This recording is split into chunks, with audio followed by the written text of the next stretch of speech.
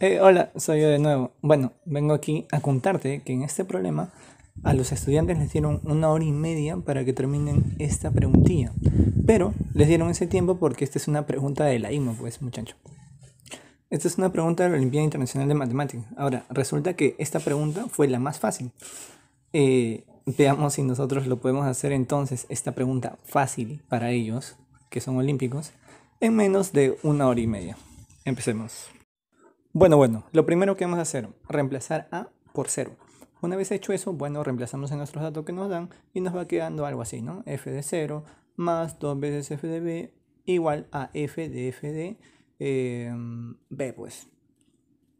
Ahora, ya tú sabes, porque tú eres bien mosca, bien moscardón, XD, que b, bueno, tú lo puedes reemplazar eh, o bueno, eh, hacer un cambio de variable por x. Bueno, claro, ¿no? X tiene que pertenecer a los enteros, obviamente, porque f de dónde va? De enteros a enteros, esa es la condición del problema.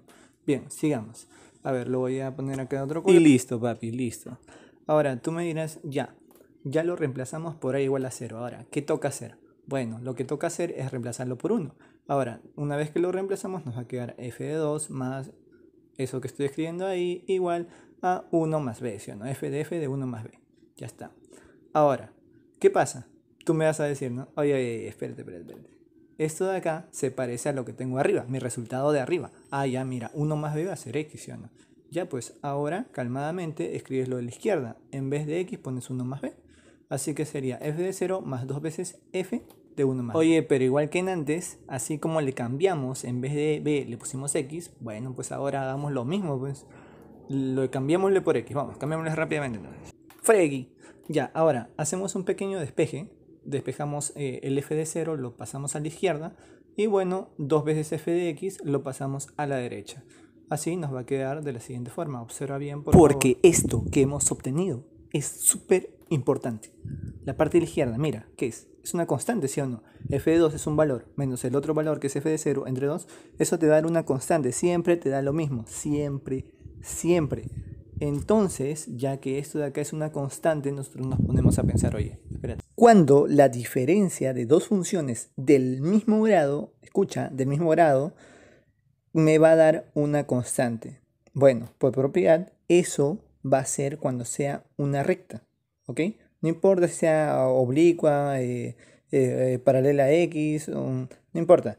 La cosa es que sea una recta. Escribamos entonces la función mx más b. Ah, no, pero espérate, en vez de b le vamos a poner otra, n, porque te vas a equivocar con el b que nos están dando de dato, ¿ya? Reemplazamos entonces y tendríamos 2a por m, que sería 2am más n. Recuerda que estamos reemplazando la función f de x. Ahora reemplacemos b. 2 veces mb más n, ¿ok? Eso será igual a f de f de a más b. Ahora reemplazamos f de a más b. Sería f de m por a más b más n, obviamente. Y esto lo tenemos que volver a reemplazar ahí. Y bueno, nos quedaría m cuadrado multiplicado por a más b más mn más n. Qué fácil, qué fácil muchachito. Listo, ahora aquí agrupamos, ¿sí? 2m multiplicado por a más b más 3n. Igual, aquí m cuadrado solo lo bajamos a más b, mn y n. Listo, ahora, bueno, vemos que tienen de semejante, ¿no? Y recuerda que A y B tienen que ser enteros, ¿eh? Tienen que ser enteros. Todo AB tiene que ser entero. Bueno, identificamos A más B es el que cambia, ¿ok? Como es el que cambia, es el variable, entonces diremos que 2m es igual a m cuadrado y que 3n es igual a mn más n, obviamente. Si es que no recuerdas este método, mira, te hago, te hago, recordar. Si esto de acá fuese cx más d, o sea, sería una igualdad, tú dices que m es igual a c y n es igual a d, ¿sí o no? Ya, lo mismo estamos haciendo aquí. x es el variable, aquí el variable es a más b. Bueno, de una vez ponemos la igualdad. 2m sería igual a m cuadrado y mn más n sería igual a 3n. De aquí nos arroja dos valores, que m puede ser 0 o que m puede ser 2.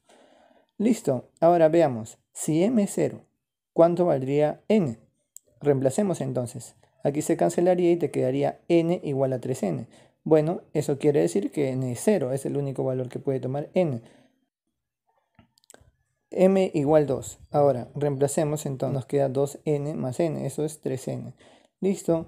¿Cuándo se cumple eso? Bueno, cuando n sea un entero, cualquier entero, no importa qué entero.